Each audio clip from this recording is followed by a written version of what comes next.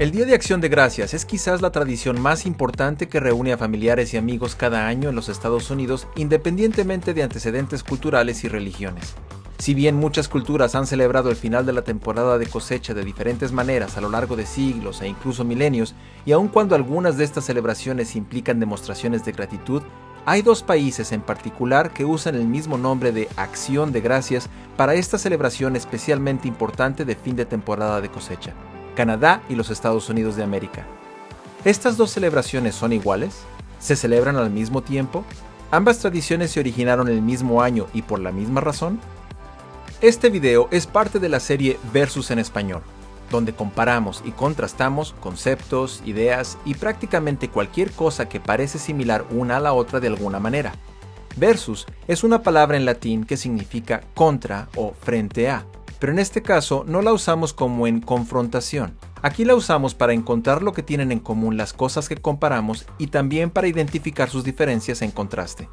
En esta ocasión, comparamos y contrastamos dos tradiciones que aparentemente son casi lo mismo, pero ¿en realidad lo son? Vamos a identificar lo que ambas tradiciones tienen en común. Eso es comparar. Ambas tradiciones tienen el mismo nombre, acción de gracias, y en algún momento coincidieron en el propósito principal, que era dar gracias a Dios por los buenos cultivos y las abundantes cosechas. Las familias y amigos se reúnen para un festín y muchos ven partidos de fútbol americano. En Canadá ven la Liga Canadiense de Fútbol y en los Estados Unidos la Liga Nacional de Fútbol y los partidos del Día del Pavo en las escuelas secundarias o preparatorias, llamados Turkey Bowl. Hay un desfile el Día de Acción de Gracias en ambos países. Sin embargo, el canadiense no es tan grande como el estadounidense y el enfoque es ligeramente diferente. Ambas cenas de acción de gracias incluyen pavo y tarta o pay de calabaza, pero veremos algunas diferencias en el menú y los ingredientes cuando contrastemos en el siguiente segmento. Antes de proceder a identificar las diferencias entre el Día de Acción de Gracias en Canadá y en los Estados Unidos, señalemos que los muchos pueblos indígenas que habitaban lo que ahora conocemos como América del Norte ya habían estado demostrando gratitud de diferentes maneras y por varias razones mucho antes que los europeos llegaran a sus tierras.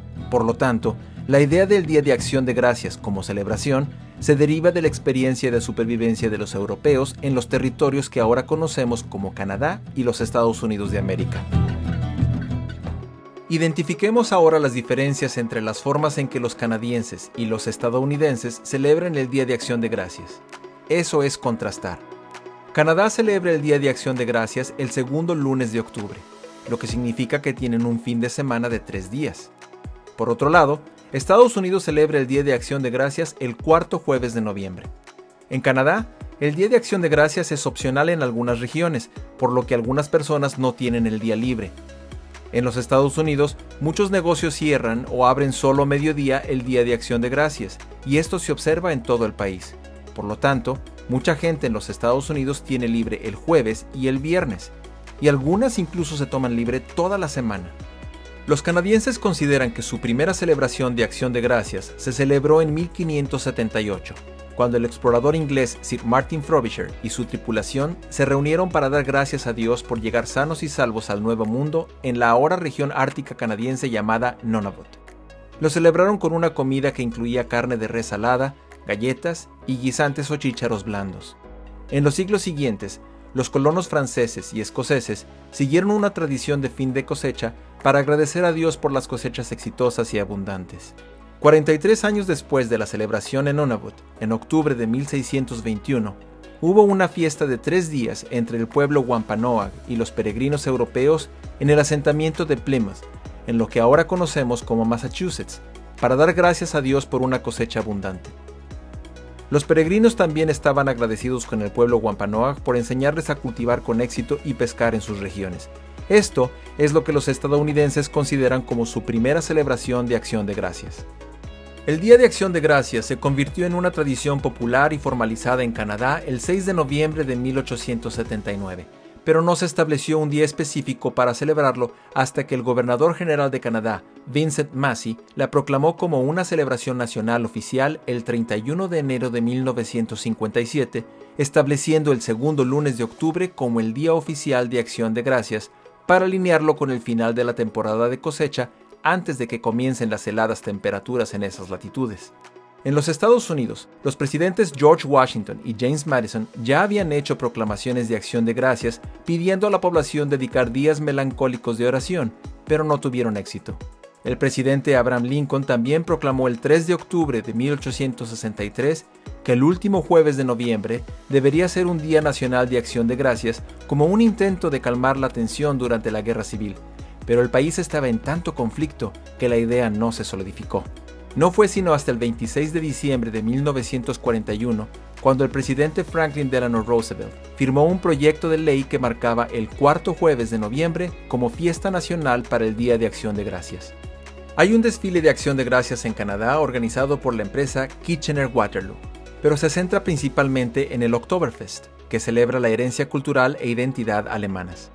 El desfile de acción de gracias de Macy's en la ciudad de Nueva York incluye globos gigantescos con iconos típicos de acción de gracias, como pavos y peregrinos con sombreros y hebillas negras. Pero el objetivo principal es comenzar oficialmente la temporada de compras de fiestas decembrinas, que incluye personajes de películas populares e incluso a Santa Claus. Hablando de compras, el viernes después del Día de Acción de Gracias en los Estados Unidos se llama Black Friday o Viernes Negro, que hace referencia a las ofertas especiales para ayudar a las empresas a mejorar sus ventas y mantenerse fuera de los números rojos. Es como el buen fin en México. Dada la popularidad de las compras en línea hoy en día, el lunes siguiente también está lleno de ofertas especiales para los compradores en línea y se llama Cyber Monday.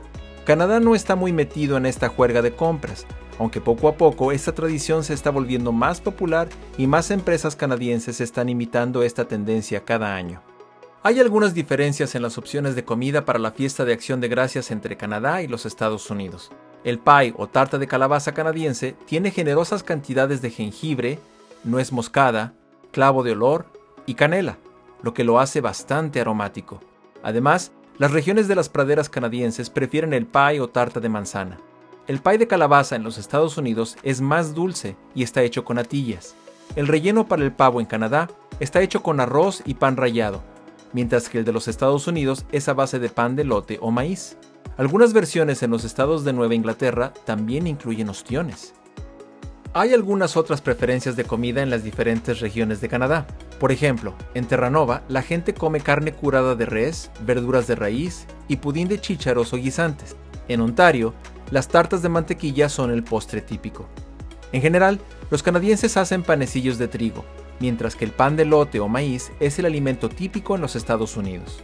Mientras que el Día de Acción de Gracias en Canadá es en lunes, las familias deciden cuándo celebrar su fiesta durante el fin de semana. En los Estados Unidos, la fiesta de Acción de Gracias es siempre en jueves. Esto da más días para seguir disfrutando de las obras y recuperarse del coma digestivo. Últimamente, el Día de Acción de Gracias en Canadá no es tan importante como el Día de Acción de Gracias en los Estados Unidos. Sin embargo, estas tradiciones deberían servir como recordatorios para que estemos agradecidos por lo que tenemos, especialmente antes de la típica comilón anual, ¿no crees?